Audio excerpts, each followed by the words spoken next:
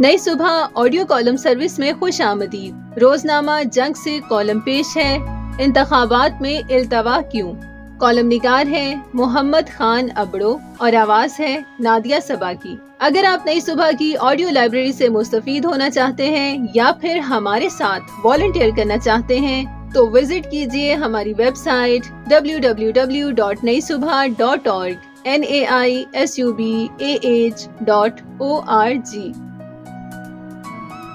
Pakistan इस वक्त बेयकीनी की सूरत हाल से दो चार है। डॉलर की परवाज है कि थमने का नाम नहीं ले रही। रुपए को बेकदरी का सामना है। मीशत में जो कुछ हफ़्ते पहले इस्तेकाम आया था, वो एक बार फिर आँखों से ओझल होता दिखाई दे रहा है। कारखानों के बाहर पहले तो कितारें इस बात का सबूत थीं कि बहरहाल पाकिस्तान में रोज़गार मौजूद है और कारखानों के बाहर कितारों में लगे लोगों में से अंदर जितनी ज़रूरत है, उतने लोगों को मिल मालकान रोज़गार देते दिखाई दे रहे थे।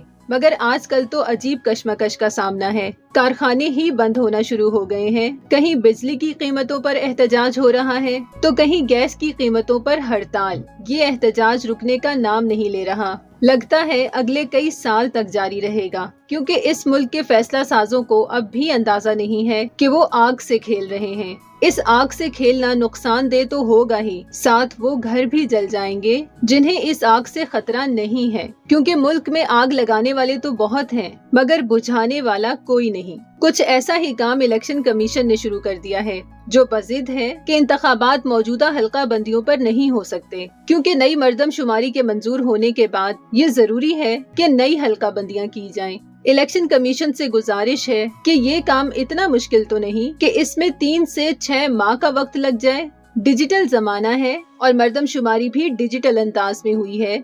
फिर जदीद टेक्नोलॉजी और गूगल मैप वगैरह जैसे जदीद साइंसी टूल्स के होते हुए हल्का बंदियों में इतना वक्त तो नहीं लगना चाहिए। आज के जदीद दौर में तो ये काम चार हफ्तों में मुकम्मल हो सकता है, मगर असल मसला तो कुछ और है, जिसकी वजह से ये इंतबात मुलतवी किए जा रहे हैं। लगता यही है कि नवाज़ शरीफ के लिए राह हमवार की जा रही है और 2018 में जो फाश गलती हुई थी, उसका अजाला करने के लिए आवाम के साथ खिलवाड़ किया जा रहा है।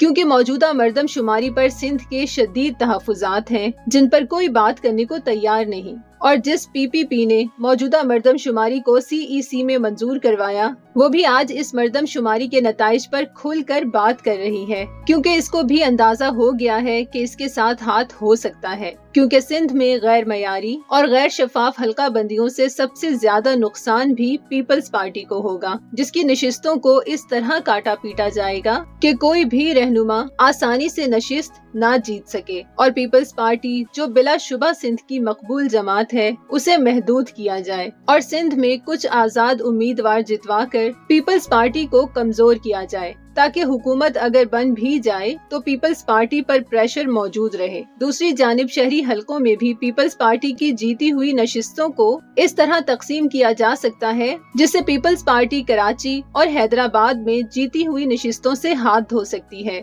क्योंकि ताकतवर लोग नहीं चाहेंगे कि पीपीपी को सिंध में फ्री हैंड दिया जाए लिहाजा इसके लिए एक तरफ़ नवाज़ शरीफ के लिए हालात साजगार किए जा रहे हैं, दूसरी तरफ़ इंतबात को इल्तवा में डालकर हल्का बंदियों के ज़रिए पीपल्स पार्टी के हाथ बांधने की तैयारियाँ की जा रही हैं। पीपीपी कयादत ने अगर मुजाहमत न की तो आने वाले दिनों में नुकसान का सामना करना पड़ेगा। बाकी सदर आसिफ अली समझदार आदमी हैं, उनके साथ धोखा करने वाले न पहले कामयाब हुए न कल होंगे। मगर इसका मतलब ये नहीं कि पीपल्स पार्टी के साथ धोखा हो गया। इसका मतलब ये है कि इलेक्शन अगले साल करवा कर मुल्क के साथ धोखा किया जा रहा है। क्योंकि इलेक्शन की तारीख का ऐलान न हुआ तो डॉलर पाँच सौ को भी छू सकता है। खुदारा मुल्क पर रहम करें।